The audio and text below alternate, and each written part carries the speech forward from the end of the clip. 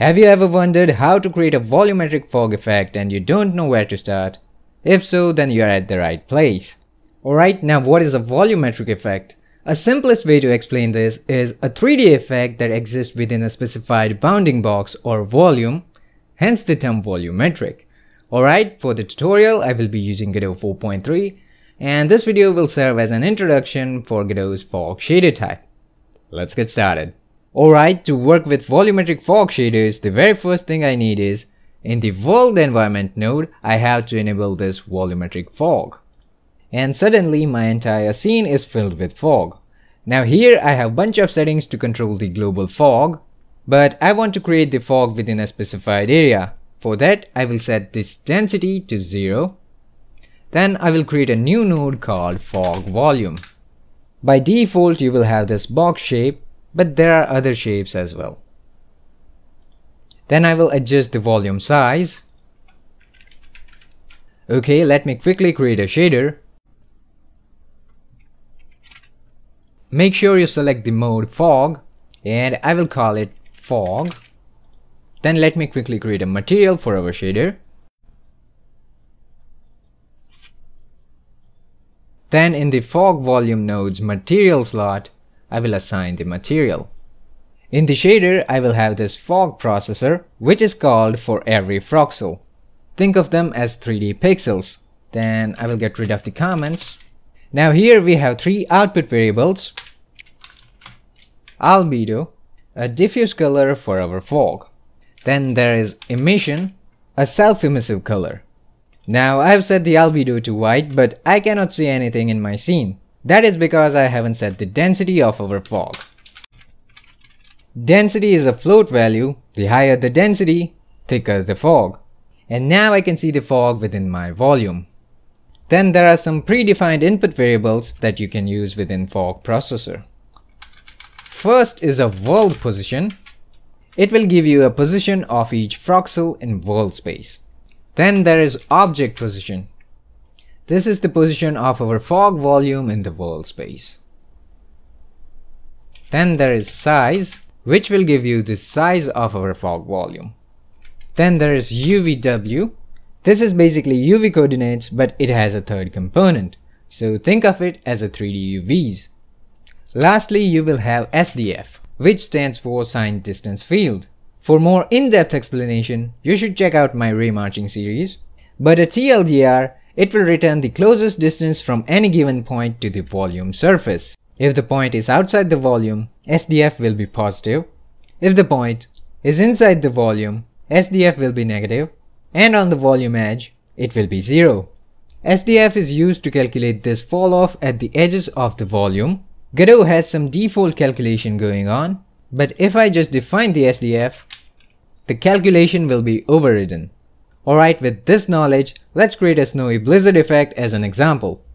First, let's create a uniform to set the density from the inspector. Then I want a noise texture. Here you can sample the 3D texture as well, but I will use a 2D texture, so uniform, sampler 2D, noise texture, and one more uniform to scale the texture. Then in the inspector, I will quickly set up a 2D texture, but you can of course experiment here.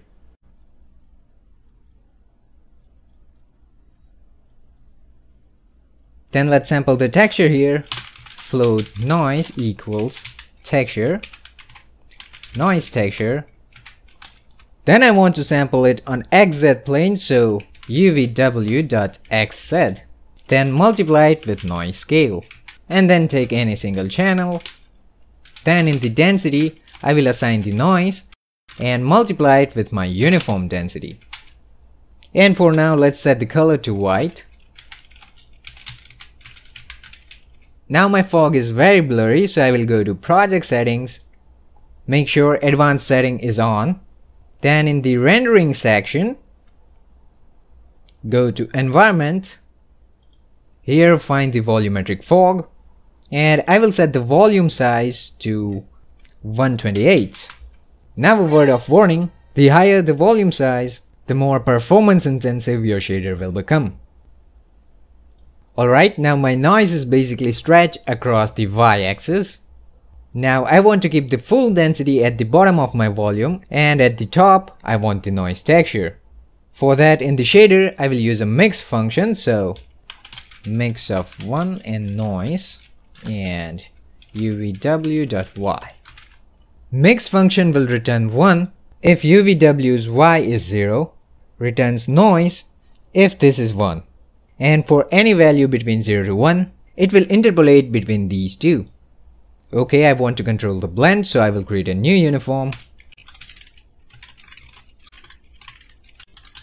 And multiply it with UVW's Y. Now this fog can also interact with light. Let me add a new Omni light. I will give it some bluish color.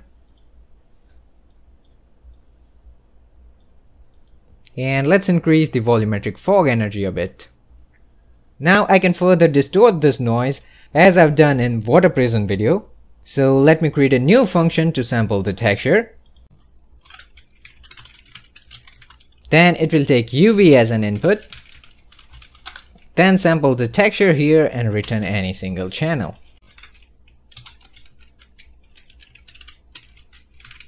Then here I will take this and put it in a new variable. Now I also want to pan the noise so I will add the time. Then here call our function and nothing happens.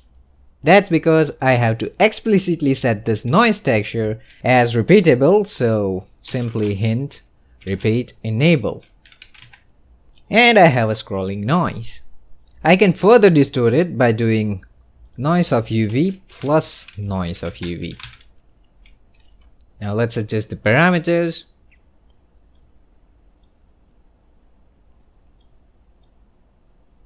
And I have this blizzard effect.